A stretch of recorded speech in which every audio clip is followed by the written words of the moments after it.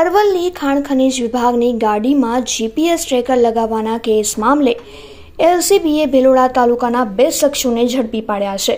પોલીસે GPS tracker લગાવનાર મુખ્ય આરોપી પ્રભુદાસ ટોડિયા અને ઉપેન્દ્ર મહેનાથની ધરપકડ કરી છે અને અન્ય એક આરોપી મોડાસાનો નિમેશ ગોર પોલીસ પકડતી હાલ દૂર છે.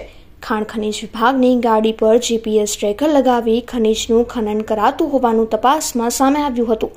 વોટ્સએપ ગ્રુપ બનાવી સરકારી ગાડીનું લોકેશન ખનીજ માફિયાઓને જણાવાતું હતું.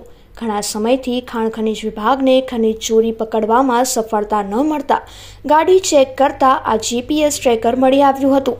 જીપીએસ ટ્રેકરને લઈને મોડાસા ટાઉન પોલીસ સ્ટેશનમાં ફરિયાદ પણ નોંધાઈ હતી.